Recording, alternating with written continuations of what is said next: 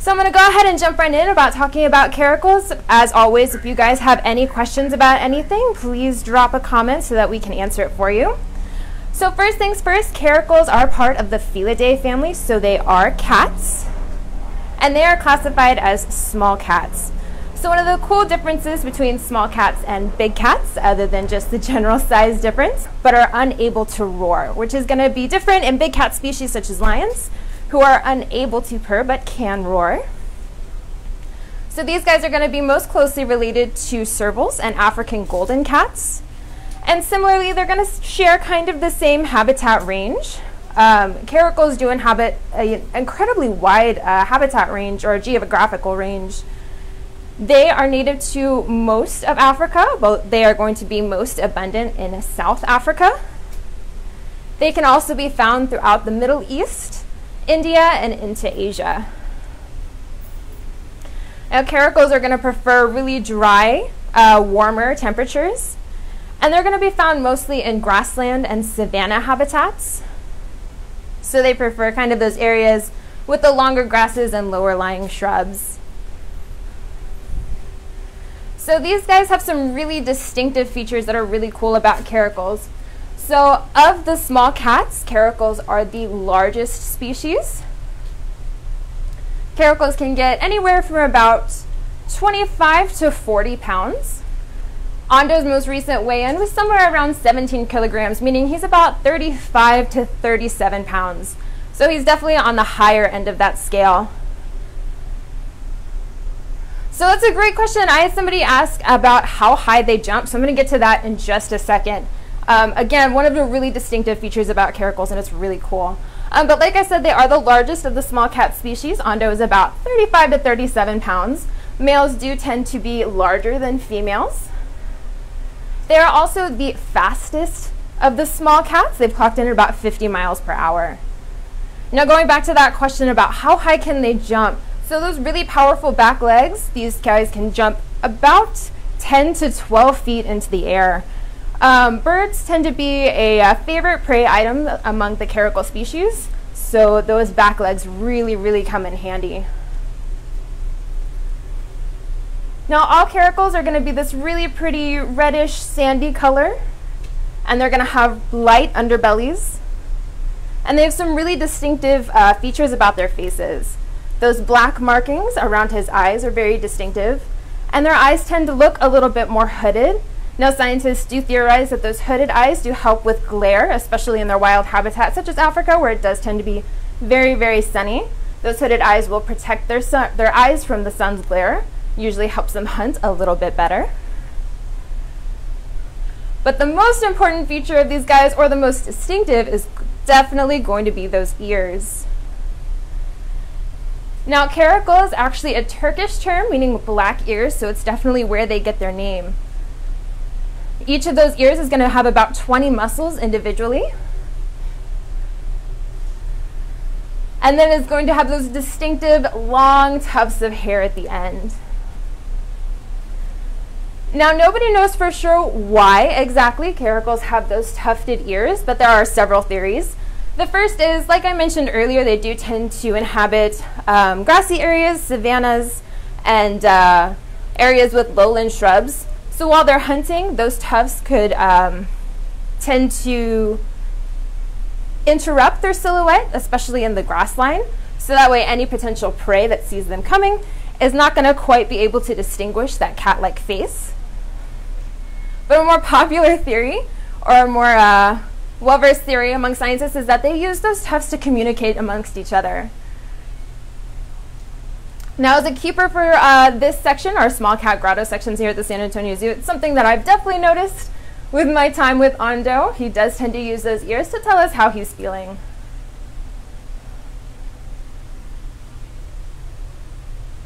Now, as I mentioned earlier, these guys are part of the Felidae family, so they are carnivorous. As I mentioned, those really powerful back legs do help them jump uh, really high distances and help them catch uh, prey items such as birds. They do also prey on other species such as um, rodents, such as rabbits, um, and even smaller antelope species such as dik-dik or duikers.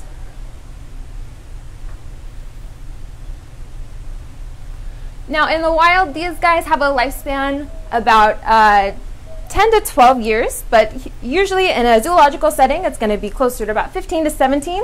They don't have to worry about where their food comes from. They don't have any natural predators here, and as well as round the clock medical care. So it does tend to extend their lifespan quite a bit. Now, I did have a question about whether or not they are nocturnal, and yes, these guys do tend to hunt a little bit more exclusively at night. Those big eyes really help uh, bring in any light that they might need while they are hunting at night. Alrighty, so Ando just went around the corner. He'll be back in just a minute as he explores his habitat. One of our uh, animal care managers just put out some uh, meat items, some diet items for him. So he's going to explore a little bit, and I'm sure he'll be back around in just a second. But to continue talking about caracals in the wild, uh, caracals are usually solitary. I do get a lot of questions uh, about why Ando is housed alone. So unlike some of the lions and big cat species that we're really familiar with that have those big family groups and prides, uh, caracals are only going to come together when it's time to breed. And that's usually going to happen uh, when they're about one to two years old is going to be the start of their um, sexual maturity where they come together to breed. But that's pretty much going to be the only time that you're going to see more than one caracal together. He's coming back around just a second. He's showing off some jumping skills around that corner. And if you can see him in the grassland up there, that's what he's going to look like in a wild habitat with those long tufts of ears kind of breaking up his natural silhouette. So once these guys breed in the wild, um, mother caracals will usually find abandoned nests, usually aardvark tunnels or even porcupine tunnels, to have her kittens. And she will have between one to six, although two is the average. Little kittens will stay with their mothers about 10 to 12 months before going off on their own. Now, similar to most cat species, the successful kill rate for these guys is probably going to be somewhere between 30 to 40%. It's often not as high as we think that it's going to be. Uh, they put a lot of energy into hunting, and as you can imagine, they're not going to try to do it too often without making sure that they are going to be successful. Which leads me to my other favorite fact. Um, Black-footed cats are going to be the highest kill rate, uh, the and they share the same natural habitat as caracals, and they're actually going to be 60 to 70 percent, and they're no larger than the common house cat. So as I mentioned earlier, they're going to have kittens that stay with them about 10 to 12 months before striking out on their own. So now Ondo is not uh, currently housed with another female. So again, he is going to be housed as a solitary animal because that's going to be uh, more familiar and what a more naturalistic habitat would look like for him.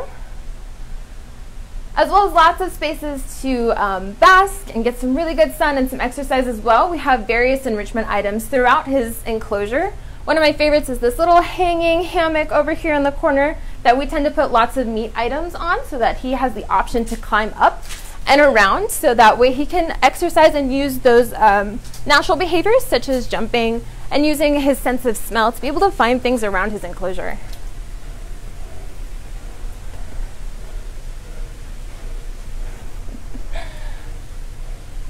Now in the summers, there's a, uh, a good pro tip for those of you who when uh, we are able to host you guys again, which we are hoping to do soon, we're so excited to have you guys back hopefully very soon. Uh, he does have a couple hiding places during the summers that I can point out to you. So the best one that you're going to be able to find is actually going to be back this direction. And again, it's going to be one of those where he likes to show off his agility. It's going to be at the very top of the enclosure. And it's a nice, cool, shady little area where he likes to go in the summers. So as you guys visit again and come through the cat grottos, I can more than guarantee that he's most likely going to be in that spot. Do any training? Uh, so we got a question about training, and I am ondo's primary trainer right now. So I'm working on a couple behaviors with him. Uh, mostly we work on a target behavior. Now what that means is we present usually a target pole or stick that has a very bright, colorful end to it so that he can distinguish it. And we present that to the animal in an holding area. So it's an area that's off exhibit and that usually has their AC or their heat, especially as they need it, especially in the summers. We got some good AC going through there. Um, so targeting means that we ask the we present a target, we ask the animal to usually press their nose or even tongue to the uh, target stick, and that way we are able to move them around their enclosures. That really helps us out as keepers if it ever comes down to having a veterinarian come down, maybe check out their general health, look at eyes, ears, noses, all of that good stuff, that that way we are able to move them around and present our veterinarians with a better kind of vision of how our animals are doing.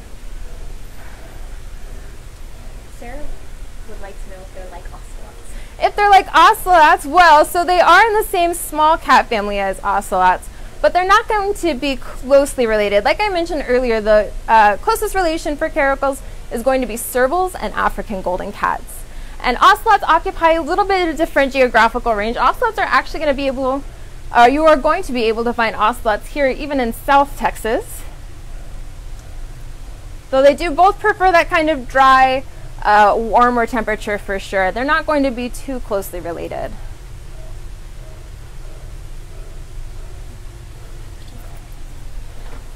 All right, guys, so we're going to head back to the other side as Ondo does move around his enclosure pretty frequently.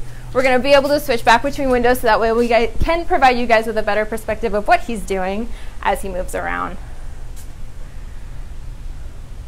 So as I mentioned earlier, pro tip for those of you as you come to the zoo, this top spot up here where it's nice and shady is going to be a spot, as I say it, he goes to most often.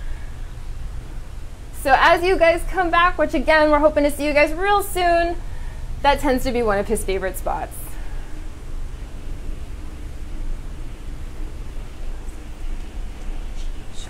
And for those of you that have donated during this video, thank you so much. We really, really appreciate those of you who are able to donate and the donations that you give us. Again, we are a nonprofit and we do rely on those donations so that we are able to continue to provide top class care for our animal species. So we really appreciate it. So I had another great question. So what are their main predators? Uh, like I mentioned earlier, these guys are carnivorous species that are native to Africa. So as you can imagine, there are some top predators that they share a geographical region with that do um, pose a threat to them. So usually things like hyenas and lions are going to be their main threat, um, but unfortunately humans as well. Caracals are often considered a pest species. They do unfortunately uh, go after agriculture, things like sheep and goats.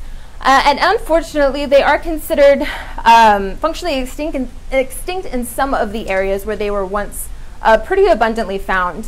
However, according to the IUCN Red List, these guys are still considered least concern, and that's really uh, mostly due to the really wide geographical range. As I mentioned earlier, they're found throughout most of Africa, though mostly in southern Africa, as well as through the Middle East and uh, India and even Asia. Alrighty guys, well thank you guys so much again for tuning in. We are going to be doing Facebook Lives at 9 a.m. and 2 p.m. for the rest of this week. For those of you who are able to donate, we really appreciate. And for those of you thinking about it, we would appreciate any donations that you guys would be able to give. Once again, thank you guys for tuning in. We hope to see you soon.